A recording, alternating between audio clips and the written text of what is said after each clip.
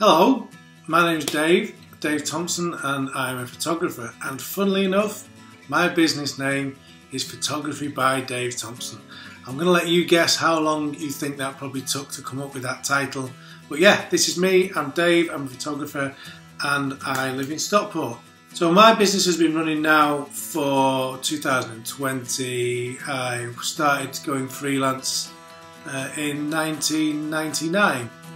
Uh, I had a seven year gap in the middle where I was employed by a, a, press agency because a lot of the work that I've done historically is editorial work.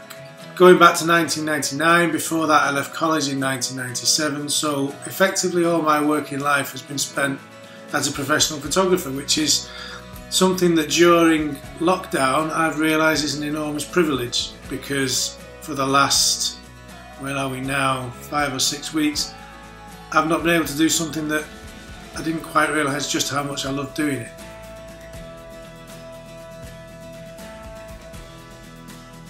So, how did I get the inspiration to become a photographer? Well, I'm going to talk about the wedding side of it because when I was a press photographer, I would do weddings for friends and family and then I would run a million miles from them.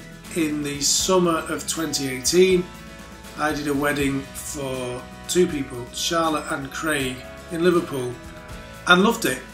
Um, but the thing that inspired me was after their wedding, we took I took them the USB and they looked through it on a computer screen.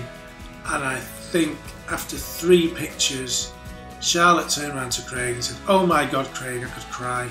Um, and I think that just emphasised to me the fact that to provide someone with images from a day that is so important to them, for them to keep forever and to evoke that emotion in them, just made me think there might be something in this for me to become involved in.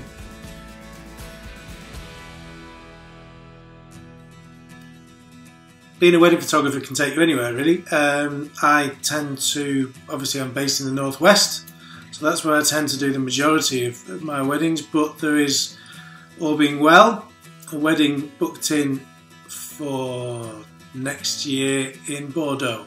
So, needless to say, I think as photographers, as videographers, as suppliers of, of any kind, really, uh, we don't tend to limit ourselves as to where we can work.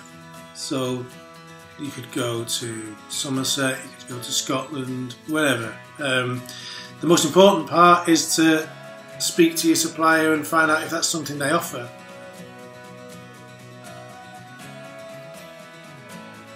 In one of the earlier questions, I probably touched on this a little bit about what it is that I love about my job.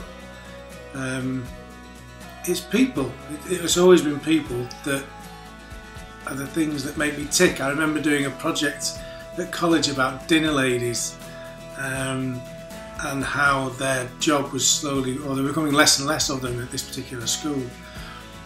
Um, and that was kind of when I started to realise that interaction with people is something that I enjoy and building that relationship, which again is what you'll or what I do with a bride and groom, that right from the moment when we meet to the day that you deliver their final product, you're building the relationship with them, you're getting to know them, um, and it's brilliant. It's, it's one of taking pictures is almost a side note really to knowing how a couple tick.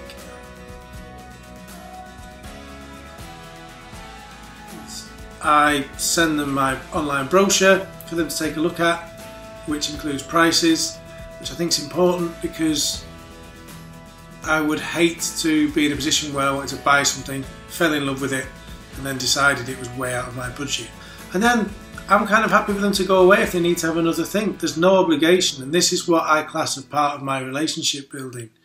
I don't want to be that pressure salesman that wants you to come on, book me, book me, book me. I'm not like that. I've never been like that. My editing process is pretty traditional. I don't tend to massively manipulate images. I don't see why I should. I, I don't want to change the way you look. I might lighten an image, I might darken an image, I might crop an image. I'm not going to remove things from the image that are you because it's fundamentally wrong. Some of the products that I offer as well are pretty standard across the board really. Um, I have a half day package and a full day package. Everything else is pretty much an add-on. You can bespoke, make your own, sorry, make your own bespoke wedding photography package.